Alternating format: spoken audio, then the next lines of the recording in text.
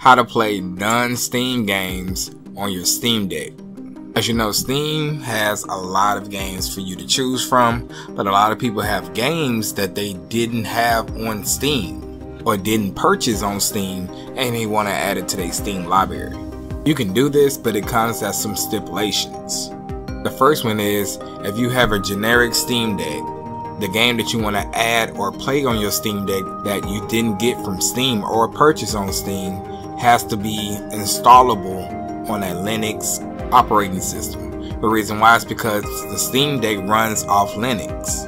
The second way you can play non-Steam games on your Steam Deck is by having Windows and Steam OS as two options for you to choose for. Like for example, my Steam Deck right here is running Windows 10 as well as Steam OS. I use the Windows side to play my games like Call of Duty, Fortnite, any game that has an anti-cheat that's not compatible with Linux, I run on my Windows side. As far as anything else, I would run that on my SteamOS side because SteamOS is more smoother.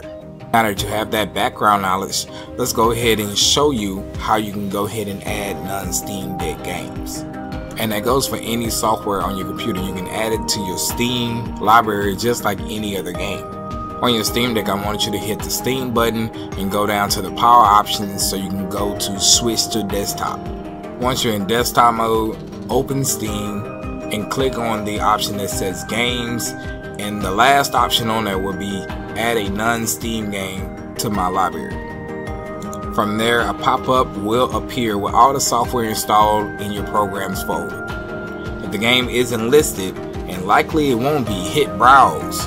Go to the folder where the game is installed, click the game's executable, and hit open.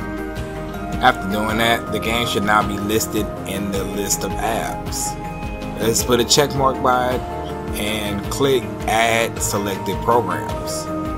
After doing this, the game will be added to your library. You can return back to your gaming mode side and you will see it.